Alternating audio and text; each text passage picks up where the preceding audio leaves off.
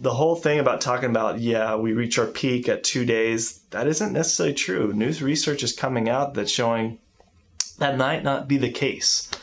And I've always thought that, you know, just because two days is where it elevates to about 400% doesn't mean it's continuing, uh, it's not continuing after that.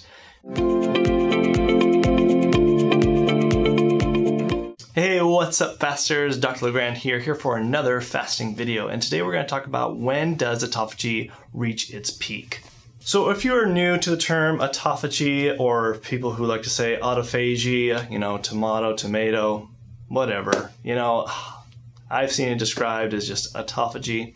So if you're not familiar with that term, what autophagy is, is basically a way for the body to start eating away a lot of dead unnecessary cells as we age, pretty much getting rust out of our system. And it can be enhanced during a fasting process. So when we are in a fasted state, it can increase to an exponential 400% during a fasted period. Now people use this in all different kind of ways. They can either do it through dry fasting, water fasting, intermittent fasting, now, as far as how long it does take for to reach autophagy, I have talked about that before, and I will leave a link right above here that you could check that out of how long it does take to reach autophagy. Now, as far as when does autophagy reach its peak, it does depend on the person.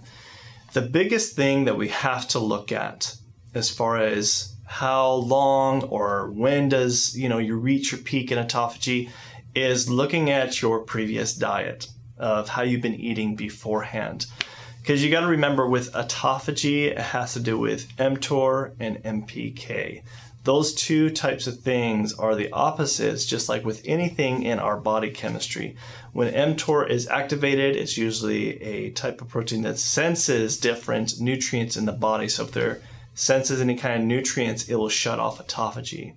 Okay, and so AMPK is more of a catabolic, you know, system where basically we'll activate autophagy when there is no sense of nutrients, and so the body's going to start consuming unnecessary proteins that it will break down to utilize for energy or other dying cells to get rid of those cells that we don't want lingering into in our body.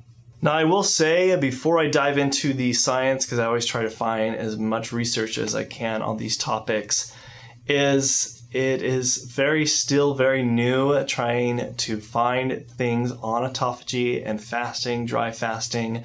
You know, research is being done more and more, but it is very limited, especially on this topic. But the one study that I did find on this topic of, uh, you know, when does autophagy reach its peak, it was um, published in the Journal of Autophagy and they looked at calorie restriction in mice and seeing how long does it take also when does autophagy reach its peak. So markers showed that during a 24 cycle there was levels of autophagy but were not very significant to even show any benefit in the body during just a 24 hour fast but after a 48 hour fast period, there was a significant increase of autophagy levels. But the very interesting thing now, I know a lot of things have been said in the past that autophagy reaches its peak after two days of fasting. I know Jason Fung, Dr. Jason Fung has said this. Uh, there's been a lot of other YouTubers that uh, talk about fasting. I've even said it before in my videos that Typically, when we reach our peak, it's about two days of fasting. But you gotta understand, science is always changing, and new research is always being shown that we might, what we've said in the before in the past, might always be in the case when we find new evidence. And what they found here is yes, even though it reached um, a very high level of autophagy after 48 hours of fasting, showed it wasn't in the entire body. So what they did find is autophagy was not even activated in the brain yet at all within these mice. So how long does it take to reach autophagy just in the brain? They didn't go into detail about that. So it's still very unknown of when uh, autophagy is even activated in the brain. And that is also very important because there's so many benefits when it comes to activating autophagy for the brain for helping things such as Alzheimer's, Huntington's disease, Parkinson's, because this is where I think prolonged fasting does shine, uh, where autophagy can be activated further for different parts of the brain by doing a three plus day fast or seven day fast is where you can finally start activating autophagy within different parts of our body. So the whole thing about talking about, yeah, we reach our peak at two days, that isn't necessarily true. News research is coming out that's showing that might not be the case. And I've always thought that, you know, just because two days is where it elevates to about 400% doesn't mean it's continuing, uh, it's not continuing after that. Autophagy levels are still elevated. It's just trying to find out what your body type is, what you've been doing beforehand, what uh, how big your body mass index is, looking at all these different avenues that can show how long it does take you to reach autophagy, as well as how long you should stay in autophagy.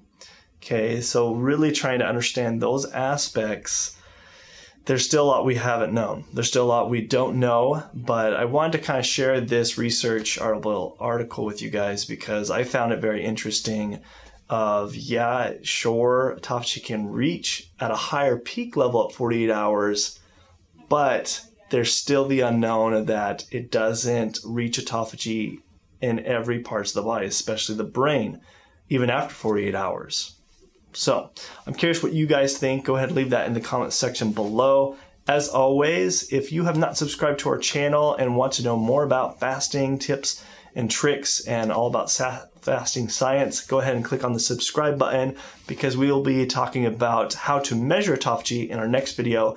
And then if you want to learn about how long it does take to uh, reach autophagy, there's a video right here and then also a playlist on autophagy right here. So until next time, this is Dr. LeGrand signing out, and I will see you in the next video. Thanks. Bye.